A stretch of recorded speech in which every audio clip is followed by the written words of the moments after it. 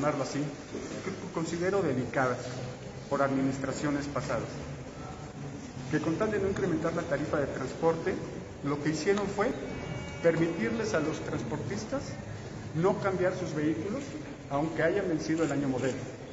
Y la otra, cambiar unidades de alta capacidad a vehículos de baja capacidad, lo que va en contra de toda política de movilidad.